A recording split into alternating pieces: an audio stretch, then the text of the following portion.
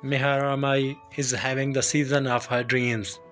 In her sixth year on the Grand Prix, the 23-year-old Japanese skater has captured a trio of gold medals, capped by come from behind victory on Saturday, 10th of December at the Grand Prix final in Turin, Italy.